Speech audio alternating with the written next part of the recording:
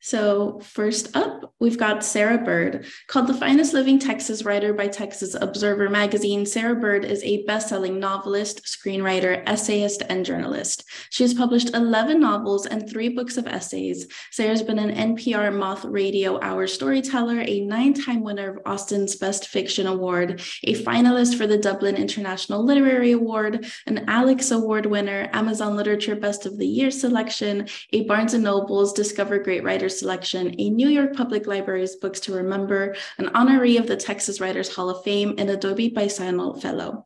She has written for O Magazine, the New York Times, Chicago Tribune, Texas Observer, Texas Highways, Slate, and Salon, among, among others, and was the backstage, back page columnist for Texas Monthly for six years a 10 year career as a screenwriter when she wrote for such companies as Warner Brothers and Paramount led to her selection for the Meryl Streep Screenwriters Lab. Sarah co founded the Writers League of Texas, is the 2021 winner of the University of New Mexico's Paul Ray Award for Cultural Advocacy, and is the hologram breeder at Austin Central Library. She is currently working on a book of the photos she took in the late 70s at Black Rodeos to be published by UT Press in June 2024 under the title Juneteenth Rodeo Let's Go, Let's Show, Let's Rodeo. Welcome, Sarah. Hi. Thank you. Thank you, David. I know you're wondering, and yet she's only what, 39, 29? How could she have done all that? Ooh la la. All right, next up, David Wright Faladé is the author of three books The Narrative History, Fire on the Beach, recovering the lost story of Richard Etheridge and the Pea Island Lifesavers, and the novels Away Running and most recently Black Cloud Rising. The New Yorker chose Fire on the Beach as one of its notable selections, and the St. Louis Post Dispatch named it one of its best books of 2001. Away Running was named an outstanding international book by the U.S. Board of on Books for Young People and was selected by the Junior Library Guild and the Texas Library Association for its high school reading list. An excerpt from Black Cloud Rising entitled The Sandbanks 1861 appeared in The New Yorker. A former Fulbright Fellow to Brazil, David Wright Faladé is the 2021 to 22 Mary Ellen von der Heyden Fellow of the New York Public Library's Cullman Center for Writers. His work has been recognized by the Zora Neale Hurston and Richard Wright Foundation, the National Endowment for the Humanities, and the Texas Institute of Letters. He teaches in the MFA program at the University of Illinois. Welcome, David. And thanks so much for being here. Thank you all. Uh, thank you, Sam. All right, so let's get started. I we're really going to spend a lot of time digging into your most recent books. We're going to get really specific about your writing process and your research processes. Um, but I want to start a little more broadly. And I think it's important for writers to um, definitely tap into the why of writing. And so that's where I want to begin. Why are you drawn to writing about the past? Where does that impulse come from for you, no matter what historical story you're trying to tell? So, Sarah, I'll start with you.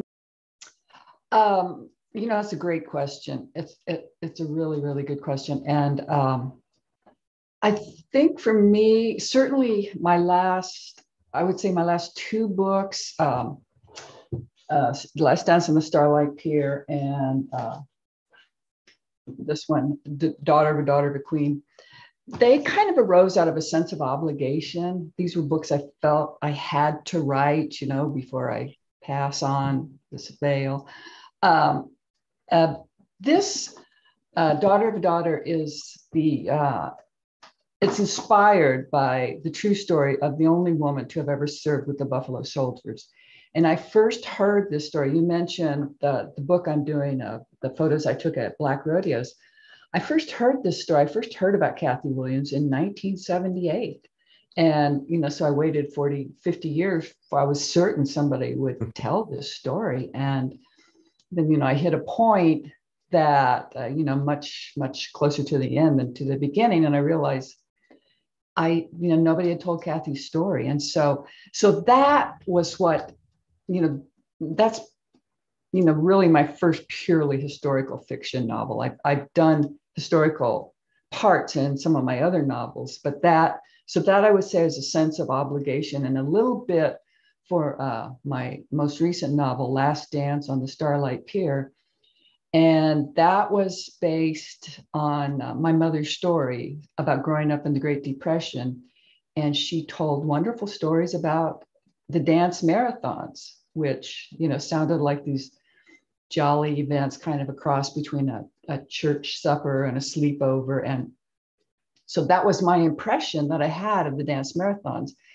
And that was in, you know, vivid contrast to the net, my next encounter, which was uh, with the movie that came out in 1969, They Shoot Horses, Don't They? Which was just unrelievedly grim. so I just felt I, you know, and I also wanted to capture some of my mom's experiences of uh, in nurses training. So I think I think those things tug at a lot of people who write historical fiction. I um, you know, I've read a bit about David and, and you know in your work, and I think I think you have an element of that in your work as well. Yeah, like I I think that um, I think it's a it's a wonderful question, and I, I find it a hard one too because it like I've always been um, I've also been fascinated, intrigued by history, sort of how it works, how we got to where we are, and so like I'm seeing it in that way, this sort of, you know, uh, this complex interwoven thing, but that's leading to where we are now. But why I, you know, I could just read it or, you know, study it or something. I found myself gravitating towards it as a writer a little bit by happenstance. When I first started writing, um, you know, it was very much uh, coming from a, more of an autobiographical place. Mm-hmm. Um, the impulse that I had to write was trying to, I think a lot about sort of race and class, uh, race, class, and gender, um, Americanness broadly. Um, and in thinking about that, that was those were the themes I wanted to try to write about. But as I was writing about them as related to me and my experience, it never felt. I don't know. I just have a little bit of a block. Not a block like I can't write it. I would write it, but I just didn't feel. I felt more comfortable approaching it with history as this sort of um, um, uh, organizing principle. Um, yeah.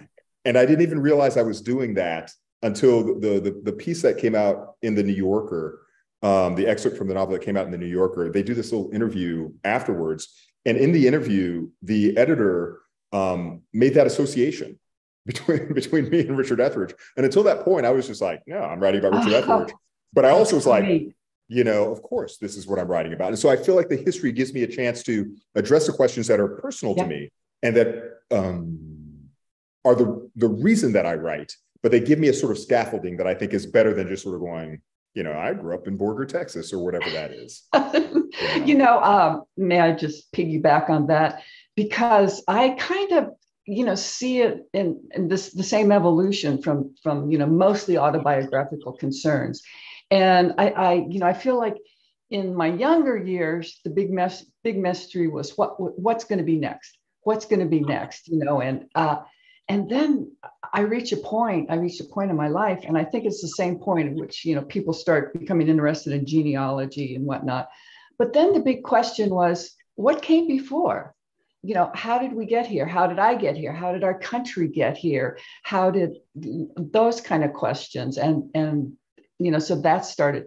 The fascination kind of shifted from my own personal life to what, you know, there possibly could be much more interesting lives out there than mine. And so I, you know, I kind of wanted more to um, dive into those. Yeah, you know, to live another life, another another era. Yeah, yeah, completely, very much so. And it, I find that I don't know if this has been your experience too. It's not that the eras aren't so different, but people are people. Um, and so it's interesting. It's clarifying, I, I should say, maybe illuminating to understand sort of complex humanity in a completely different social context, historical mm-hmm. context. So, yeah.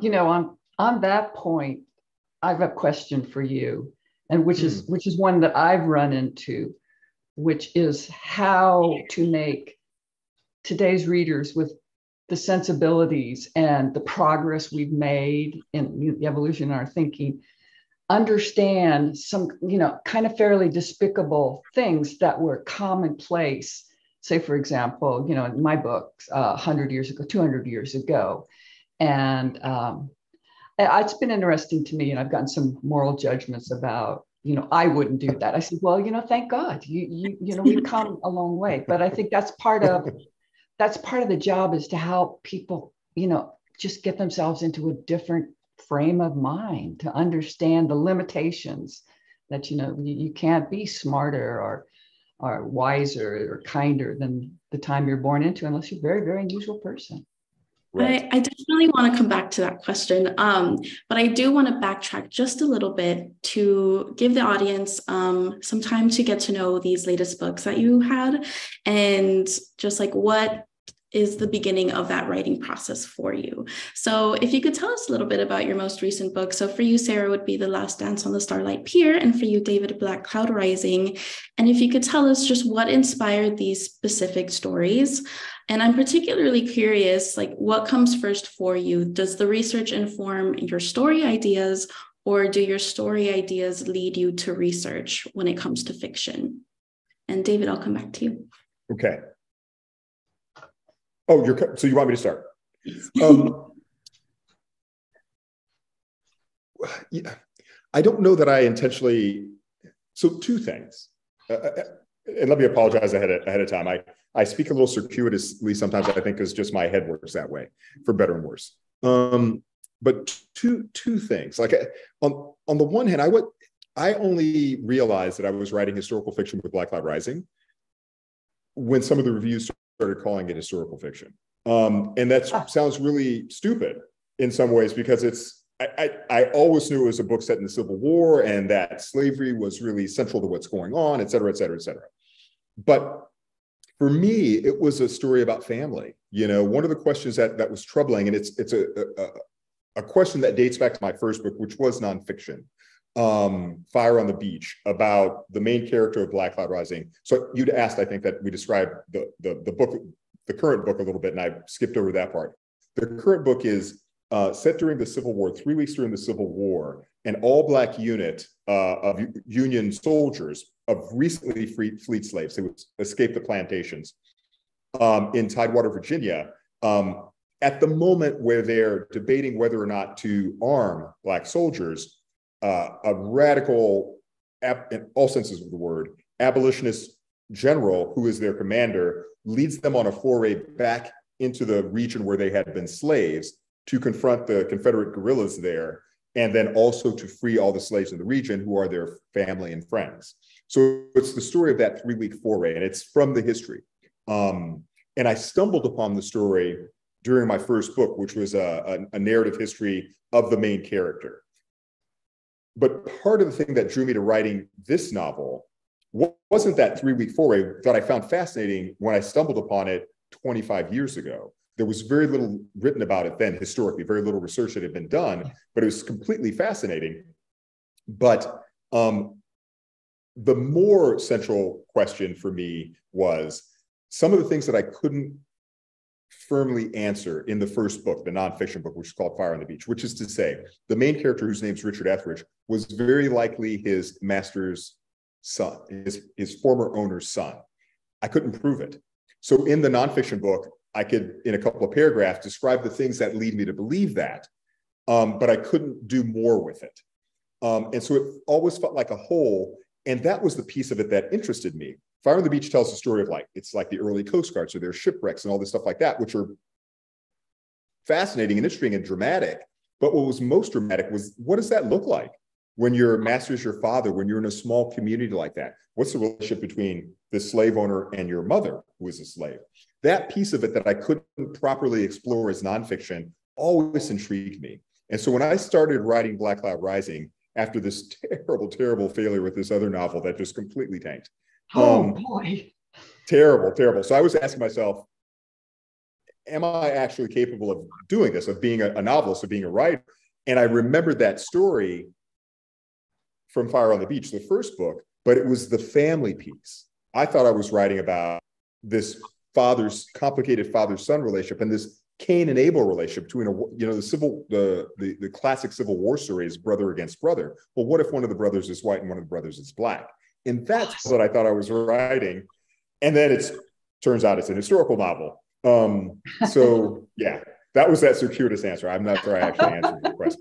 yeah, that's that's wonderful, and I think the fact that it started with this hole that you couldn't answer in your nonfiction book is really fascinating. Yeah. And I'm curious when it comes to nonfiction writing, um, do you also start with questions that you're trying to answer, or was it more just like, I'm really interested in this topic and I'm going to do research on it and write a book about it? With Fire on the Beach, it was complete happenstance. Um, on the cover of the of the book, uh, Fire on the Beach, is this picture of the this all black Coast Guard crew. And when I I actually didn't stumble upon it, it was presented to. It was my first year of graduate school in Virginia when I'd lived abroad for like five years um, after college and I was back in the United States. I thought just through graduate school, and I was gonna, I thought myself expatriate, and I'm gonna go live, you know, back to my life. But in that first year, I co-wrote it with um, a, a friend who was a poet, a first year poet in the MFA program, and I was a first year fiction writer. And it was fall term, and we were, you know, like all first year graduate students, just sort of discontented with the world and our lot and our bad TA stipends and everything. And we were at a, a, a, a party towards the end of the fall semester and very sort of stereotypically, predictably, somebody pulled out a guitar and is playing the guitar kind of okay. But it just, we were just those guys. So we were sitting in the kitchen and Zoby asked me if I'd ever heard of the Pea Island Lifesavers. And at that point, I hadn't heard, heard of Pea Island of the Outer Banks. Um, but when he started asking me these questions and uh, he referred to this picture that's on the cover, Zoby had grown up in that part of the world. And if you have ever been to the Outer Banks, like the lore of the life-saving service is just alive still today. It was so prominent. Um, the life-saving service was the forerunner of the Coast Guard. And there were, in the 19th century, there were, late 19th century, there were 200 stations. And then there was this one that was run and staffed by Black people. So to me, I was just completely interested. But we thought we were doing something for grad school, something that might become a grad school project. But, it was just happenstance. I don't know, a long-winded way of saying, I'm imagining that I was going to write nonfiction, much, much less a history. But the story ended up not being written about and being so rich. So it was just good luck. Yeah. Thank you. Sarah, tell us about The Last Dance on the Starlight Pier and what inspired it and where you begin when it comes to historical um, You know, as I mentioned earlier, so this this is a book about the world of the dance marathons set during the Great Depression. And it started with my mom's story. So she was a fabulous, fabulous storyteller, you know, kind of kept her six sassy children enthralled and somehow even managed to make the Great Depression sound like an awful lot of fun, in spite of the fact that her father had died at the height of the Great Depression. He was a farmer on in a very struggling Indiana farm and left behind um, three children, four children, and a wife and you know it was a very very difficult time but my mom as, she, as, i mentioned she would tell these stories about you know the winter they survived on nothing but eggs and make it sound like just a cracking good adventure. And but she did tell about the time that stood out in her memory when a dance marathon was held at the grange hall there in, in their little community and how what a thrilling event it was and how you know very inexpensive entertainment. All the kids in, in that community could get together and bring a lunch and stay however long they want for a nickel and then get crushes on the boys from out of town and cheer on the local favorites.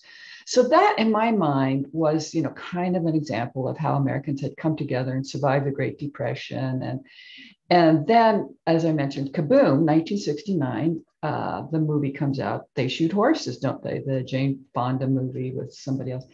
But, um, you know, and so that always kind of nagged at me. It's like there's, you know, this disjunction between Hollywood's version of what the dance marathons were and my mother's, you know, frolicking kind of remembrance. So, uh, you know, I, I put it aside and didn't really think that much about it until I, you know, just started doing a little bit of research. And the first thing I found was the novel that They Shoot Horses is based upon was written by this guy who had been a bouncer at, um, at some of these shows on the Santa Monica Pier. And then he became a failed screenwriter, Horace McCoy. And Horace McCoy had very consciously set out to write the first American existential novel. And, you know, and so it's just not going to be a jolly affair, you know, Camus and Sartre and those, you know, laugh a minute bunch. Uh, so that was, you know, just questioning why we're here and, you know, the waste of human existence and whatnot. The other thing I quickly found out uh, about the Hollywood portrayal of the dance marathons of the Great Depression was that they had left out the Great Depression. And it's just impossible to understand this phenomenon without that context, without understanding how truly, truly dire the times were. This was the worst depression, not only in America's history, but in the history of the uh, industrial world. And over one quarter of working force was out of business. 40% of those who were still employed had their salaries slashed. And it was, was just an extreme time. So I knew I wanted to tell that story because it's it's just kind of shocking to me that something that was that popular and at their at the peak of their popularity, there were something like uh, every town over 50,000 people had a dance marathon. They employed 20,000 people around the country. Hmm. And, uh, you know, to give some kind of context, the uh, World Wrestling Enterprise currently around the world only employs a thousand people. So they, you know, they have promoters and nurses and and what were called sloppers, people that kept everybody fed. So it's just, and I just fell in love with the anthropology of this strange world and the whole way that their language and their ethos, their rules, and how essentially it was the basis of reality television. They would create love interests and rivals and enemies and who to root for and who to boo for. So this it just really gripped me. And then I had this great, great moment in research. I don't know, you probably had them, David, where you just like you just want to jump up and down. You can't believe what you found. I found this great photograph, and uh, it's actually I, I love it so much. I put it in the the back of the book. Um, I don't know if you can see this. Is this is this visible at all? Can you see this? Anyway, okay. This is an entirely packed out city auditorium, and the accompanying newspaper article said it was capacity crowd of 2000 in spite of the heavy rains. And the wonderful, wonderful thing about this that just accelerated me so much was it took place in Galveston, Texas.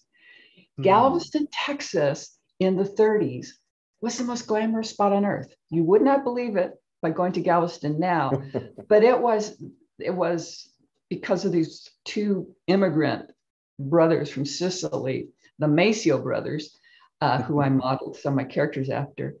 They essentially invented invented Las Vegas, and so to find out that an actual show had taken place there, and they had it was the center of uh, medical education in Texas at that time, and I I wanted my character to be uh, a nursing student like my mother had been. It was, it, it just all fell together so beautifully. And I had tremendous fun researching. Yeah, I mean, that's a perfect segue into my next question because when it comes to historical fiction, like writers are going to need to do research. And I'm curious what that research process looks like for you, whether it's fiction or nonfiction. Um, do you look at newspapers and the archives? Do you conduct interviews? Like, what does that process um, look like when you're writing a historical book? And Sarah, I'll stick with you. I was just thinking, it's like all of the above. um, but I'm sure you found this too. It's just essential to to saturate yourself in first person stuff, you know, of the period, uh, diaries, letters, uh, memoirs, um, and you know, before you, well, you can, you know, actually, I'll I'll go through step by step. Um, I first I start. I have started in the past in various subjects with kids' books because you'll get a terrific overview and kind of the foundational stuff that has to be in there. And then a general a general history of the period. And then you know you just get more and more and more specific and drill down and down and down. But um, for my last two novels i mean the thing that kind of two things really electrify me and that's photographs and and the language that was particularly true for um, Daughter of a Daughter, which is set uh, as your novel during, it starts during the Civil War and then continues through, um, you know, when, when um, my heroine goes out west. But I, I, re- I knew from the beginning that if I could not create a voice for her that was, that we hopefully had not heard before, that I wasn't going to do it. And so but my God, you know, researching 19th century language, and I'm sure you found this, David, it's just such a gift. I mean, the expressions, and it was wonderful, you know, like um, I made a little lexicon. I'd go through, you know, every time I found something good, you know, something I hadn't heard, something that was fresh, and I, I would make, you know, a lexicon. And so I got, you know, pages and pages of stuff. And so there were things like, uh, if somebody was worthless, I'd say, you know, carry guts to a bear and somebody's really worthless, all vine and no taters, uh, talking to a mule, you go back, back, back, back. Uh, can't wait for something to happen. You're crying for daylight. Um, and I love this one saying, wild as an acre of snakes. But those that really informed my character and her voice. And I wanted it, I didn't want her to be Southern. I didn't, I, I really wanted her to be more Western than Southern. And so that was very important. It was different when, as far as the language, um, when I was doing the books during the 30s. And this, I think, is something that you know writers you need to be aware of that something may be accurate, but it's not going to sound accurate, and or you know it sticks out. And there's a lot of language from the 30s that. Um, uh, a lot of language from um, you know, kind of contemporary words that you're shocked that, you know, they've been there so long. But in the 30s is sort of problematic, 30s and 20s, because then there's a lot of language like, you know, the bee's knees and 23 skidoo and, and or, you know, 30s gangster language, cheese it, it's the cops and, and that kind of talk. So I, um, I really kind of pulled back from that, and it, it's she's my character is more contemporary, but um, the research really starts for me with you know just you just gotta you just gotta read everything you can about it and and books of the period and you know wait wait till your characters start talking to you. And then as many historical fiction novels advise throw it all away. What about you david? How do you approach it? I mean, really similarly, really similarly, I I had with Black Cloud Rising, I had the um, I had the benefit of all the research that I'd done for Fire on the Beach. And though Fire on the Beach is, you know, 1842 to 1900 and much more focused on the post-war period, I had a strong sense of who I thought those characters were. Um, those people, I shouldn't speak of them in character because it was writing as nonfiction. I had a strong sense of who the people were, but from the research. And um, I also, this, this might not sound like a, um, a benefit, um, but it was a benefit when we when Zoby and I first started Fire on the Beach. We were first told that there was just nothing. It Had, we were told that it had not been written about. Um, someone in the chat had mentioned Alex Haley as his Black Coast, Guard, Coast Guardsman. Alex Haley had taken an interest in writing about the, the crew, but again, believing that there wasn't a whole lot of uh, documents that had survived, um, got interested in other things. Thank goodness for us. Um, and thank goodness for me, and it left me a book to write. But um, what Zoby and I found out is that in fact there was all this documentation. And it made me fall in love with research, actually, but not in a way that I think is necessarily useful for writers, because you can also just spend all your time with the research. When we found out that there were documents, and there are, I mean, some of the people I hold up as heroes are librarians and archivists. They are so knowledgeable and so enthusiastic. So once you yes. start to look, they help you know how to look better. And then they right. bring you these old documents and you get, you know, the letters and the we didn't find a lot of letters regrettably, but we found a lot of official documentation by these people. Um, and so you're hand so you're not just um, reading the information, you're handling physical objects that also have a certain not just gravitas, but help you understand the period. But just echoing what Sarah said, the more close and personal, the better. At a certain point, we were reading the uh, the, the local paper. Zoby and I were, it was so rich. You know, you want to understand 1890, read the local paper from 1890 every issue. At a certain point, you know, you're a little bit lost, you get a little bit bored. But there's so much that even just the advertisements give you, yes. you know, just gives you this right. minutia of detail. And so, so much of that could not fit into Fire on the Beach. And all of that helped me with Black Cloud Rising, then the more recent novel, you know, render the specific. And one more thing before again, because I'm a little bit all over the place as usual. Sarah, you mentioned voice. I this doesn't happen to me. Um, but I think part of it is a byproduct, again, of the research from Fire on the Beach. So on the one hand, reading these voices in more formal versions, sometimes actually very sort of military version, because these were, you know, uh, life-saving service and Coast Guard stock. Coast Guard later would become the Coast Guard documents and things like that. Um, but when we first started the research, doing the research and were believing that there were no documents, um, this was in 1993. Um, and several elderly people in the Outer Banks who had been related to the men we were researching were still alive. So, you know, folks who been born in 1907 and 1915. And if you've ever been to the Outer Banks, it's very particular bridges were built in the 1930s, but before these bridges were built that connects the Outer Banks to the mainland, if you're an Outer Banker, you were as likely to have contact with somebody sailing by who might be coming from Brazil than you were with people from inland. It was that isolated. Um, and so consequently, the way that they speak has a southern um, um, lilt to it, but a lot of the expressions are closer to sort of old England and this mix of things because of the black presence. Um, and so the language was super specific. And so when Black Cloud Rising, when I was thinking, oh, I remember this story about this three week excursion, and that's a way to explore Richard Etheridge and his familial relationships, I heard the voice. And that's the thing that doesn't happen to me. And what I realized just really recently, it's pretty, it's those older people's voices, and in particular, one man um, who was born in 1915, and we interviewed him a lot.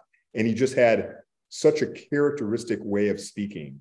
Um, nice it just so again this never happens but the first five or six pages of black cloud rising are basically like i'm a rewriter but those first five or six pages are basically what i the first five or six pages i wrote not too terribly altered because i heard the voice so the question wasn't yeah. Could i tell the story there was a dramatic story the question was could i sustain the voice for 300 pages you know because it was such an interesting voice to me but so distinct that's fascinating. fascinating. And yeah, I definitely want to dive into a lot of what the both of you just said. Um, but for this next question, I think something that historical fiction writers really have to grapple with is finding that balance between the research and the facts and the fictional story that you're trying to tell. And I loved what you said, Sarah, about doing all this research because it's going to help you and then you throw it all away. So, can you talk about how you find that balance? Um, it's it's a fine line, you know, and I will say, you know, I in in retrospect, I probably erred a little, you know, on occasion falling in love with my research, which we, you know, you just have to commit to the story.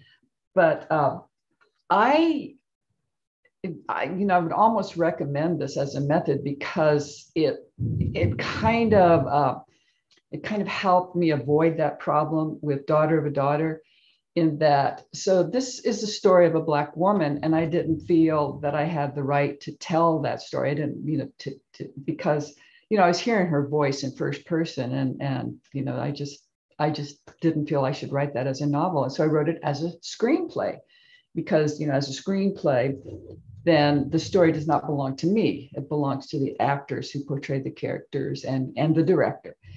Um, but that you know, it's sadly it, it never got made, but um, inadvertently, it's a great way to write a historical novel because it really forces you to just tell the story, and which was very, you know, another thing that intimidated me wildly was to go into an arena where, and I don't know if David feels the same way, but when you're writing historical fiction, you just have, you know, the little buff the buffs in your head you know like the history buffs they're going to attack you if you get if you get this gun cartridge wrong or you know any uh, and so I was really scared of buffs in general, but particularly in that era because there's an, a Civil War buff on every corner. It's it's a, a, people know a lot about the Civil War and they know a lot about the, the settling of the West. And so, you know, when I wrote it as a screenplay, I was not responsible for you know deciding what kind of gun Kathy picked up. You know, that was the prop person's problem. It's just like she picked up a gun, you know, she's armed. You take care.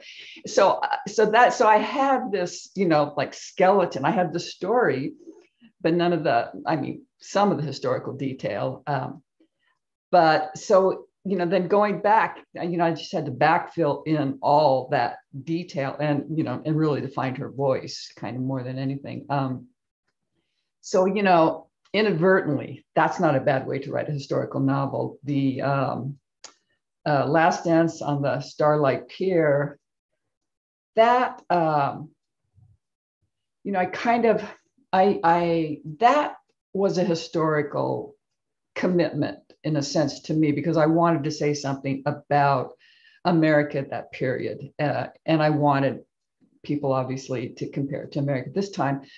Uh, and so I pivoted the story around the nomination of FDR in 1932 at the Chicago National Convention.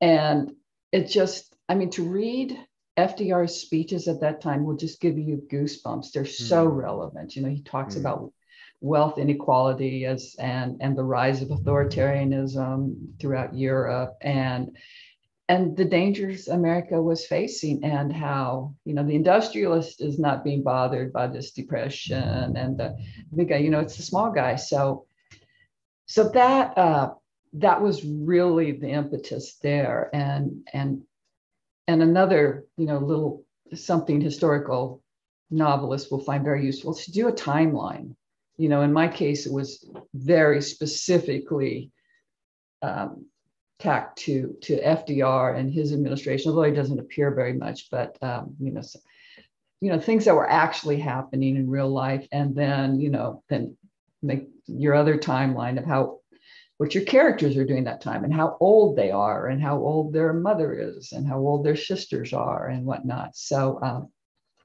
so that kind of those kind of things sort of helped me wade through the research and then I, I knew what I was looking for. I knew how to tell the story. I'm currently working on one right now that's um, sort of kicking my ass pretty bad, but I may have cracked it. I may have cracked it with the help of our wondrous Amy Gentry. If you're out there, Amy, thank you. She's helping me figure it out. How you, Dave?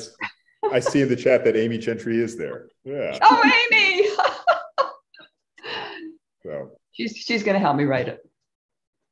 Um, yeah, I I would echo everything that that Sarah said, and just maybe underscore one thing. Um,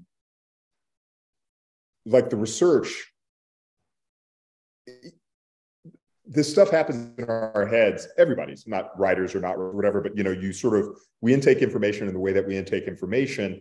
And you know what we're retaining holding on to um, is sometimes a lot more than we're actually aware of. So doing that all that research and just sort of getting it in there and taking lots of notes and doing this and that and whatever um, is hugely important as a pre-writing sort of thing. But the actual piece of writing, uh, slightly digressive. I remember when I was first beginning to write, I was reading a lot of um, interviews with writers, trying to figure out process and this and that, whatever. You know, I'd never taken a creative writing course or anything like that. And I remember reading James Baldwin, and he described himself as a rewriter. And that made sense to me and also resonated with me. And I'm saying that as a way to say, once it's time to actually write the story, you know, the, the what you said, Sarah, was you know you commit to the story, and it's that. It's not this sort of you know, yeah. It's it's at the end of the day, a, a historical novel is a novel, and so it has to work as a novel. Um, it's not a vehicle for the history. Um, it can be a scaffolding, like I said earlier, but it's not a vehicle. The, the story is the story. And so you know, to, you know, cite the Faulkner cliche, you've got to just murder a bunch of darlings to make sure that you're telling the best story that you can tell. And a lot of those dar- darlings with, with historical fiction are some of the really great, wonderful pieces of history that are so colorful, but they just don't help you tell the story. Yeah. When it came to your nonfiction writing, David, um, how did you kind of build a narrative from the research? Because it's there's also a story there, but it's not a fictional novel where you have to make it a little bit more dramatic in that sense. So how did you how did that go for you? It was it was really hard, and it was I mean um, again I I don't mean to say that in such a way like oh look at me aren't I great.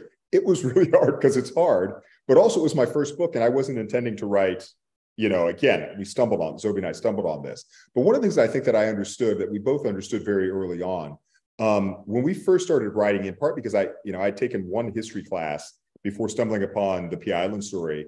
I took a history class in um, in college, Japanese civilization. I had notions about American history, but I needed to learn not just the history, but also how to be an historian. And consequently, a first, there wasn't a first draft. I mean, it was a very polished draft, but a first version was very much modeled like a monograph because um, that's what I was reading. I was reading these academic books, these academic histories. Um, and it actually landed with a university press. But the story was so interesting and big and dramatic. And we had a, a few smaller successes that were, you know, had broader appeal. People would always go, that should be a movie or that should be, you know. And a mentor of mine, uh, was friends with um, a woman who died just Valerie Boyd just this past fall, who wrote this uh, important biography of Zora Neale Hurston. And he's like, I can introduce you to her agent. And it was just a little bit of luck like that. Um, met the agent. The agent was like, Yeah, this is a great story. I think I could sell it, but I could not sell that book. And so Zoby and I had to understand how to write it more narratively. So we'd done all the research. We had notions of the pieces, and we just had to figure out then how to tell it narratively. So it circled then back to the MFA training. How do you tell a compelling narrative? Character, plot as you can find it. Um, a sense of place in the Outer Banks are so unique. So we relied upon the tools that we'd learned um, as me as a fiction writer, fictionalizing nothing, but looking for the fictional sorts of details or those elements. Um, and it was, again, I'm I'm stating the obvious, but it's hard with non with nonfiction because you're bound to the nonfiction in a way that you're not, say, with a novel. So, mm.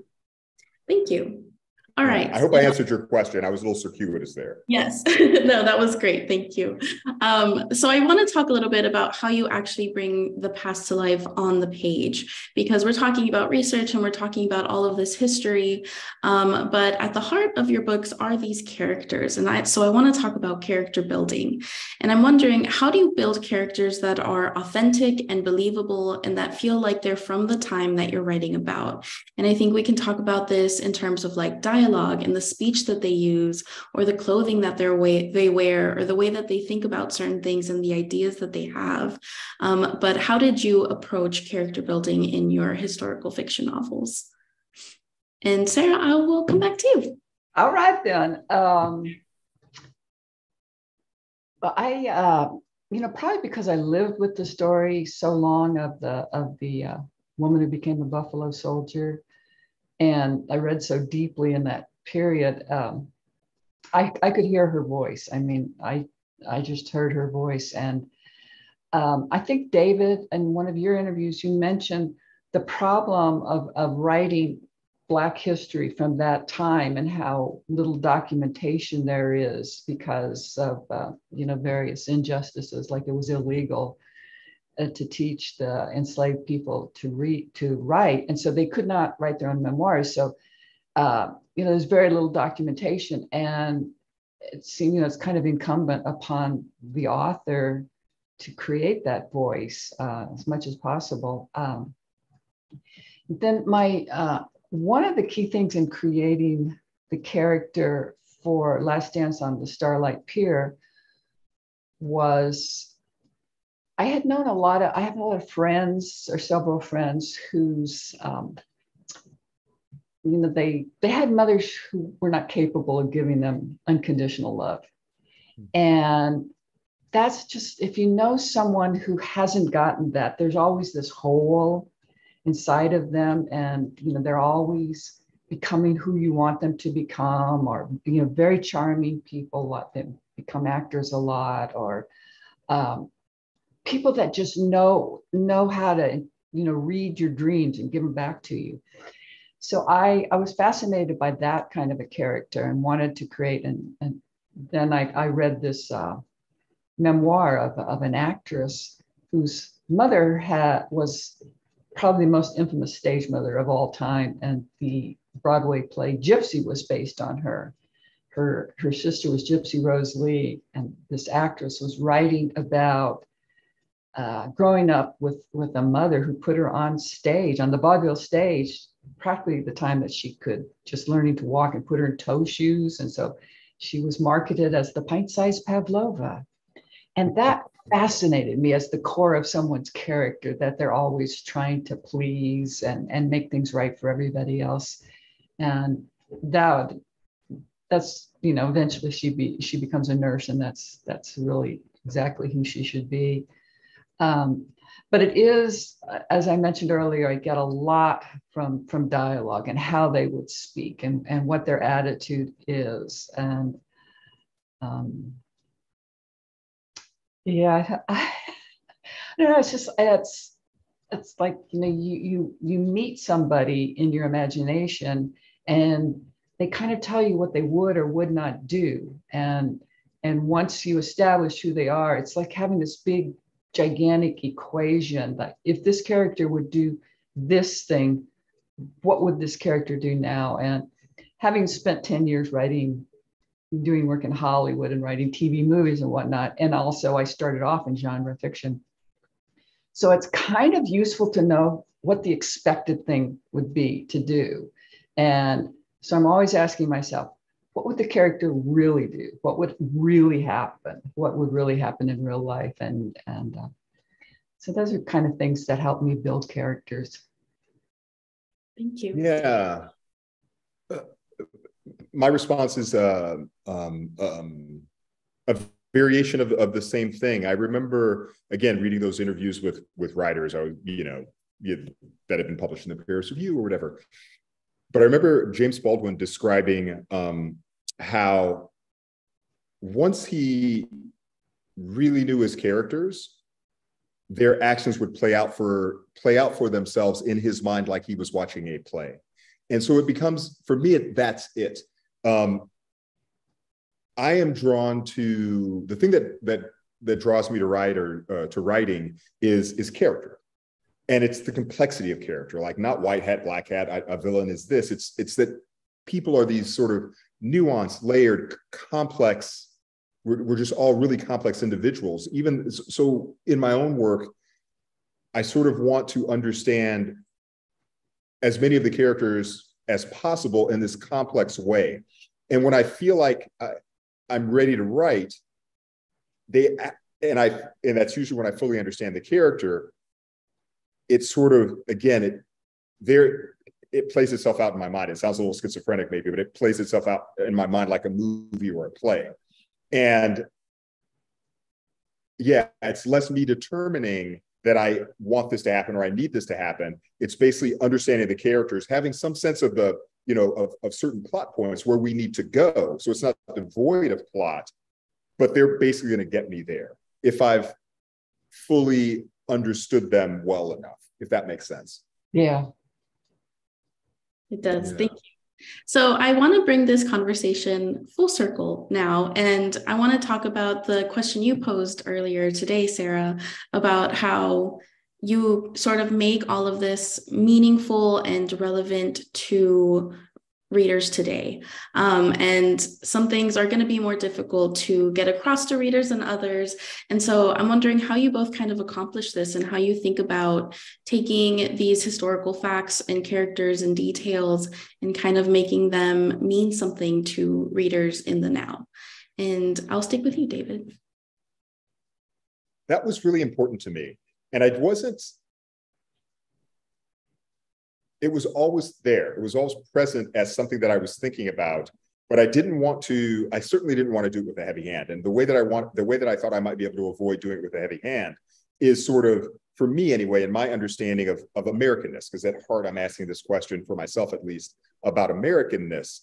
And so if that's the underlying question, that's as relevant in 1619 as it is in 1776, as it is in 1863 when the novel set, as it is in 23 when I'm, as turns out, 2016 or whatever, when I'm sitting down to write it. Um, and and so I was aware of that, but I, I ended up very specifically doing this thing um, that early editor, an early editor was like, you should maybe cut that. But the afterword to Black Cloud Rising um, skips forward. So the novel is basically three weeks, but then the the afterword, it's an epilogue, but I, I call it an afterword, is actually turns uh, uh, occurs at the turn of the century, 1899. And Richard Etheridge, the main character, is, is sitting and sort of reflecting on this three week excursion. Um, and in so doing, then it's like which sometimes when you see in movies, like at the end of Animal House, where it's like John Belushi became a senator or whatever. it's it's not exactly that, but it's kind of serving that role. I wanted to sort of catch up sort of what happened, but not in that Animal House sort of way, more as a way to sort of go, because what's happening literally in 1899, uh, as Richard Etheridge the actual person is sitting in a station in Pea Island, you know, the year before, 150 miles down the beach in Wilmington was Wilmington racial massacre. Um, Jim Crow is being established literally in law. You know, the local newspaper that I read all the editions of, I from it uh, in the novel, it's a literal quote from the, the paper.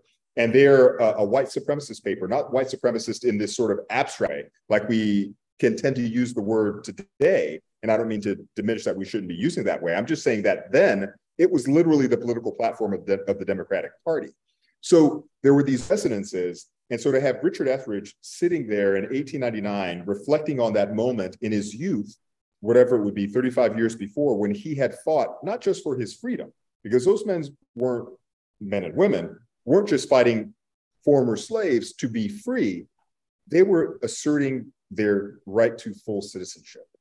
That would happen in a more staggered way later, but in their minds, it's not just we are free, we are fully American, right? We are not the stereotypes you're reading in plantation traditional literature. We are not this and that, whatever. We are fully American. And so Richard Etheridge in 1899, Wilmington having just happened, him basically being referred to as an Uncle Tom in the newspaper, inadvertently, it was meant to be a compliment, he's thinking on back, back on what he had done to arrive at this place. It probably feels a little bit, little bit bittersweet. And that seemed to me to reflect the cycle of history that might suggest that we can maybe look at where we are today too, if that makes sense. Yeah, absolutely. Yeah, I um, that originally was sort of one of the central questions of my last novel. Um, you know, I and I specifically articulated at the beginning of the book in which my main character is chastising herself for decisions she made and asking how can someone be smarter wiser kinder bigger better than the time they're born into? And in this specific case it's um, it has to do with a, a, medical procedure in the 30s which was advised for homosexuality. Homosexuality was criminalized at that point and so this medical procedure was an advance over that way of thinking. And, you know, it's a horrific procedure I'm not going to go into. But, um, you know, I really, I really attempted to lay the groundwork for why this character thought she was doing the best thing for this man she loved and how it would be the solution, how everything in her medical training told her it would be the solution. And I think, you know, by and large, I succeeded. But I was also really surprised that I got letters from people saying I was hmm. surprised mm. that she would do this. How could she? How? So there, there is the challenge of, of, you know, trying to erase all the knowledge that readers have in their head. And you know, like you go back to this time, it, it was a different time, and we didn't know what we didn't know. So that um, you know it, that it is one of those things you know she's uh, and there were there were a lot of uh, very you know befuddled people that were you know good people. They just didn't know at that point. So that you know that's an example of, of you know really trying to make the the the way people think at that time come alive and, and, understandable to a modern reader. And it can be a challenge when you know when readers are looking kind of for things to things to object to all right. Well, thank you both so much. We're going to move into the Q&A now. So for our audience, if you have any lingering questions for our panelists, please add them to the Q&A box and we will get to as many as we can. So to kick us off, we have a question from Carol. Um, do you have tips on when to stop researching and start writing? It's tempting to try to learn everything about the time period, which isn't possible. David? I, as a this is true of any piece of writing historical fiction just fiction history whatever. The thing that is most daunting to me is is the blank page. I just again I, I think of myself as a rewriter in part because i feel much more comfortable when i have a bunch of words on the page. So at a, at a certain point it's really comfortable to just keep researching more but you just got to. So you've just got to figure out when that point is. The important thing isn't that what you put down is good or even necessarily right, but that you get words down. Because once you have words down, you can start circling back. And I pirated this from Hemingway and a Moveable Feast, um, which is probably more fiction than nonfiction, but it's a really good read. But at one point, he's talking about, um, you know, writing his first book in the 20s and how every day he would start by rereading what he'd written before. And I do that. The hardest part is getting the words down. But if you stop doing the, or if you not even stop doing the research, you're continuing to do the research even, but you start putting the words on the page and then circling back, that looping process, it all moves forward sort of organically. That for me works. I think we all, in fact, I know we all approach writing so differently, but for me, at a certain point, you just got to start getting words on the page, even if they aren't good words or the right words or the right scene. Thank you. Sarah, anything to add? I kind of like to uh, fool myself a little bit in that I will, I will, you know, if I if I read something and I and so what I like to do, I'm kind of a method writer in that I I become my character and then I go out to the world and, and shop for things that she would like or, you know, see how she would react to things. And so when I'm doing the research and I come across some little gem or something, and I know how my character would react, I, I write that. And so I have, you know, it's it's your little tent pole somewhere, something that you stake stake in there. But um, when I I also get to the point, you know, that you mentioned, David, where it's much more comfortable to be researching and it's fun and it feels like work but then there's some point you just have this feeling this isn't really work anymore. You're wasting time. And then at that point i will just start writing and if there comes you know i need to look up something i just you know say fill in the blank and keep writing. Just like you will you'll fill that in later that you know don't don't stop the momentum for for some historical detail and you know power on. Awesome. Thank you. Next question. How do you know when you're going down a rabbit hole versus getting something interesting or golden? Sarah? Uh, i've been down many a rabbit hole. And i've actually you know as i say in retrospect i think i've occasionally deformed some of my books by, by you know, like in, including the rabbit hole. This is such a juicy rabbit hole. We've got to put it in the book, and it doesn't belong there. Uh, and then, you know, then I rip it out later. Uh, how do you know you're going down? Uh, you know, I'm not. Sh- it's a yes and no thing because if I find it fascinating, probably somebody else is going to find it fascinating too. And if it is a rabbit hole, it's generally a rabbit hole that hasn't been explored a lot, and that's good too. You know, to put some new stuff out there. So the answer is I'm not really sure. with with me, um, I'm, I'm approaching this like a process question, and this is something that I, I I don't even remember when I started doing it, but I I've been doing it for quite a while. Again, with this sort of um, um, abject fear of the blank page, and then this sort of circling back, this beginning of the rewriting process early at a certain point, and there are usually pressures that are that are getting me to to to realize I need to do it. But I stop myself and I make an outline of what I have.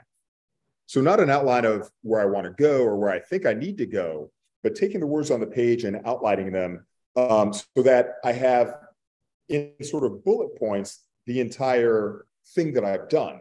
And in that way, you know, I can see, you know, this piece just is redundant with this piece. I may really like it, but which one serves the purpose more? I, I, you know, or you know, this piece maybe could be melded with that piece, or this piece might fit, fit here, or this piece can be cut, and that sort of um, um, like I, I also associate it with a sort of discipline, but I feel like if I don't um, assert that sort of discipline of myself, then I may not finish because uh, I'm really afraid of the rabbit holes. I'm really afraid of just sort of following my intuition or whatever. So that so you need to you need to give yourself permission to sort of go, but then I also need these mechanisms to sort of feel like I'm also shaping it and directing it. So that's one of the things I do. Awesome. Thank you. All right. Next question. What tools, softwares, for example, do you use during the process of writing historical fiction? David? None? Almost, uh, literally almost, I mean, Google and things like that, uh, you know, Wikipedia pages uh, to remind me of things and things like that, but but not a ton. I mean, I Microsoft Word and there you go. I love the sources and I used to, I, I used to have physical ones, but anymore there's such great ones online in etymology. So those, I guess, those are the main tools: online thesaurus and online etymologies. Um, yeah, because they're so in choosing the, the the or in figuring out the right word that's going to evoke the thing that you're trying to evoke. Etymologies in particular, on online etymologies are pretty awesome, I have to say. And chat rooms about etymology also pretty awesome. Awesome. Thank you. My favorite tool is my husband because he uh, he's an engineer and he makes spreadsheets for me.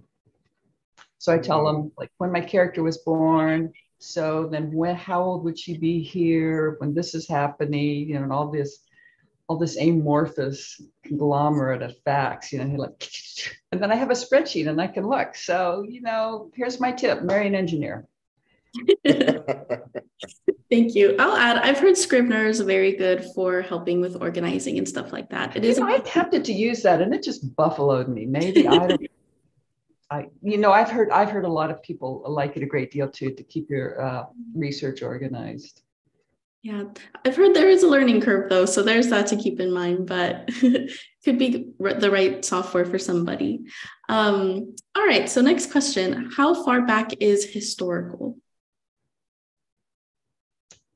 Uh, you know, what is that recent uh, series on television, Daisy Jones and the 6 mm-hmm. That's based on what is called a historical novel. It's set in the 70s. Is that, does that sound I, right to you, David? To me, it sounds right, but I'm I'm gonna again I'm gonna go back to one of my early answers. I didn't realize I was writing historical fiction when I was writing about the Civil War. I did think that I was writing historical fiction when I wrote my young adult novel that's set in 2005 during the Paris riots, because the Paris riots were central to what I was writing about. And it was a decade, it was only a decade later, but it felt like, it felt, yeah, historical in that regard. So I don't know. I, I mean, that's a long winded way of saying I don't know, but I, t- yeah, I think if if somebody wanted to have an argument about it, I would argue that Away Running is an historical novel, even though it's only set in 2005. But you know? Uh, let me add this too just really briefly and again sort of echoing that first answer which is to say i thought i was writing about family when i wrote black cloud rising and knowing full well that i was writing about the civil war but people are going to call things what they need to call them or what they even want to call them or whatever. And i'm okay with that. I find it instructive but i'm not trying to determine that too terribly much ahead of time I mostly want to write the story that I think is important to write for me, that I hope will have a resonance for others. And then they can call it what they want. But the important thing is that they're reading it, I think. You know what I mean? Yes. Thank you. All right, next question. Some historical stories come more easily than others. Any tips for what to do with the ones that get onto the page, bloated with facts and reading font? Are there ways to work with what's there, or do you need to throw it away and start again? There's somebody dealing with a bloated novel. uh, come forward here. Uh, well, you know, as David says, it's all in the rewriting. You've got something down on the page that you can, you know, massage into shape, you know, get after it, hack and slash and uh, bloat it. I, yeah, uh, historical novels can bloat very quickly because because they involve so much world building. You know, you can't. You have to explain. Somebody's just not going to get into a car and everybody understands about what happens when you get into a car. You know, it might be, you know, you might have to crank the the crankshaft, you know, you might be getting on a horse, but there's there's so you know just a lot of words in creating the past, a believable, inhabitable past. So uh, my condolences for the bloat. I I understand. I, I would I I agree a thousand percent. And I I add I think it's a good problem to have. Again, make an outline of what you got, and an outline. The fact of making it is going to force you to recognize. You know, if you're going to sort of reduce a scene into a phrase or two phrases, it's going to force you to sort of acknowledge the essence of the thing that that thing is that that scene is supposed to be doing. And then when you have it laid out in front of you, at least I can see it so much more clearly then. Again, this repeats this. This isn't doing any particularly useful work. And, you know, whatever it is, this is exactly what I was trying to do. But then at least I can see it so much more clearly then that it helps me get through the bloat and get me back on track. But the bloat is a good, it's a good problem to have. It means that you're, I would think, it means that you're fully in it and you've got, you know, the world is all there in your head. So it's it's it's a technical problem at that point. It's a writerly problem about how do you make it the word that that Sarah used, that you use, Sarah, you massage it into shape then. Mm.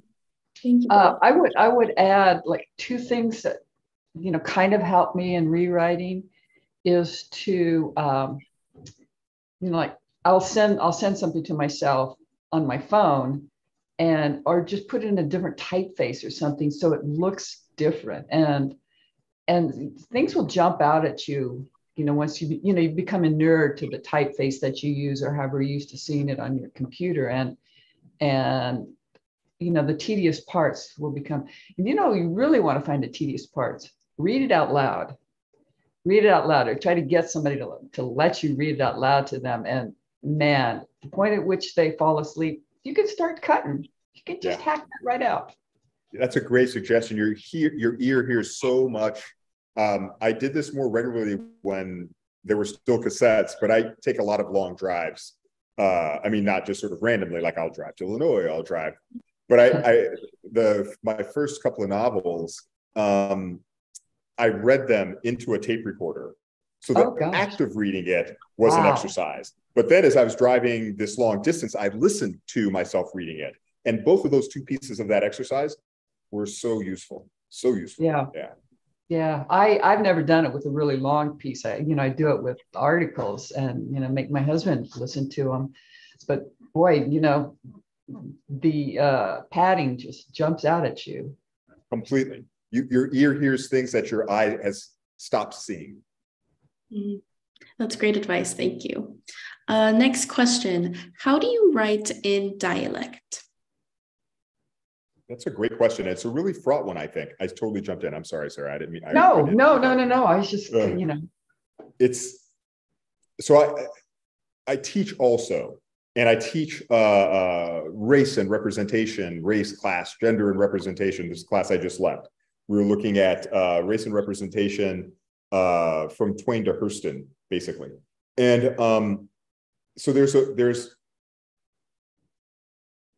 there is a politics to it and i don't mean in the in the sense that you should uh, submit to the politics but i do think you want to be aware of it um, sarah you were talking earlier about not feeling like you had the right to to to write that black woman's story as a novel and I admi- admire and respect that very much. At the same time, this feels like it's digressive from the dialect question, but I, I think it's going to fold back in. But I feel like if who we are, and I'm making assumptions about everybody in, in this in this uh, space, who we are is Americans, and part of what we are um, inquiring in our writing is Americanness, then I feel like it needs to be dialogic on some level. One of the things I noted uh, in, a, in, in teaching fiction workshops to undergrads, my students of color always write color, always write uh, uh, uh, characters of other races, characters who are not just them. My white students rarely do because of the politics of it. And so I'm saying all that as a way to say that I feel like if we are going to move forward, I'm speaking in an ideal sort of way because I do believe that cultural appropriation exists. But I feel like if we're going to move forward in a certain way, we have to give ourselves permission to imagine. That's what a writer does: is imagines bigger than merely oneself. And so, with dialect, the the difficulty—I was going to say problem, but that's not the best word. The difficulty with dialect is that it's got this particular history. So you're not just merely representing what you are imagining on the page, it also has resonances with how those representations have been put forward. And I think you want to be aware of that, which is not a way to say avoid doing it, but be overly aware of what you're doing so that you control it as much as possible, if possible. Does that kind of make sense? I love that. I love that. Hail to you, David Wright. Um, let me ask you a question. So I'm currently um, I'm currently writing the narrative for the uh, Black Rodeo photo book. And I, you know, I went to a lot of, of Black rodeos, Juneteenth rodeos, and there's just this incredibly beautiful, rich language that's not not just specifically black, but it's country, you know, and it's a country element that's it's I don't know. Anyway, I attempted to capture it and I'm getting a lot of pushback from that hmm. because uh, you know because it's an academic press and and various things like that. But so I don't know. In in your way of looking at things, how would I convey that kind of the you know that country? You know, it's really soft on the ear and and and beautiful and and uh, very vibrant, very interactive. Uh, you know, some anyway that's my current dilemma. So thank you for uh, mentioning dialect.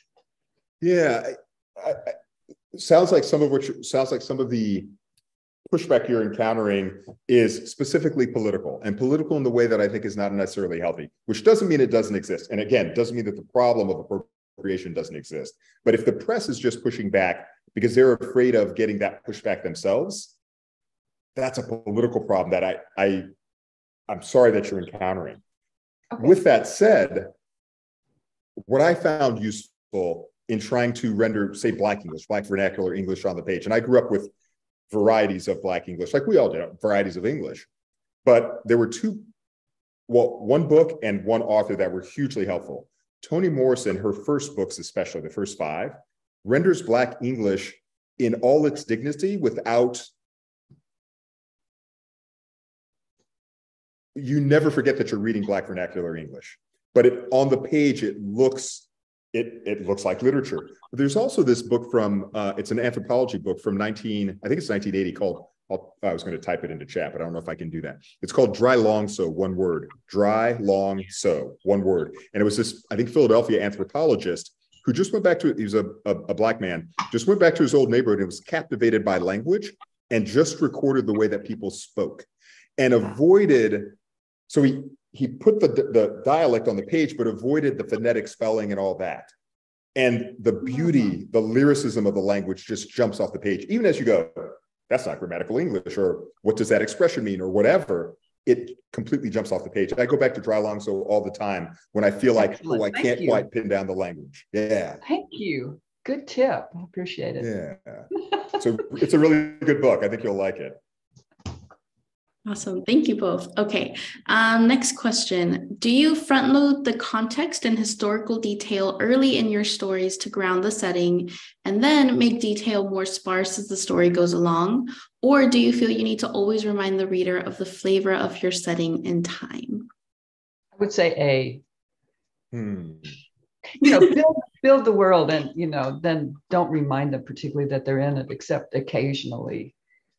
You know, once, uh, like during the Great Depression, you know, you establish hunger. Actually, that's kind of a continuing motif throughout my book. Um, yeah, I, you know, as, as little as you can get away with is, is the right amount.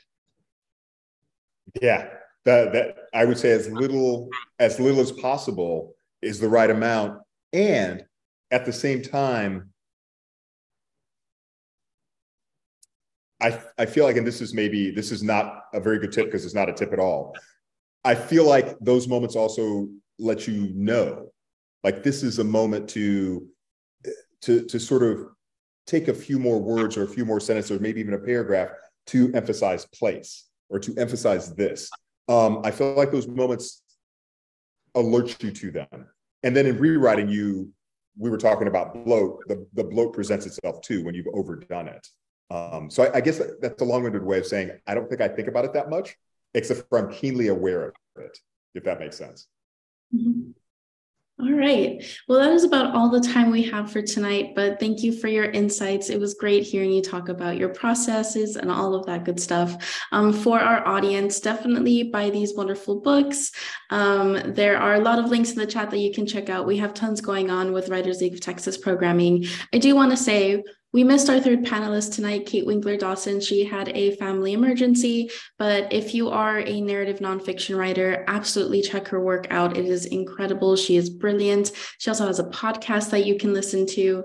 Um, but thank you all so much. Thank you to everyone who joined us and have a great thank night. Thank you all. Thank you, Thank Sarah. You. Thank you, Sam. Thank you all so much. Thank it was really David, fun. Sam, so, great discussion. I enjoyed yeah. it. Wonderful questions. Yeah, great, great. We're both wonderful. All right, y'all. I am now going to have dinner uh, after the classes. So thank you all so much. Ciao. Bye, Writers League. Happy I co founded you. Bye-bye. Bye.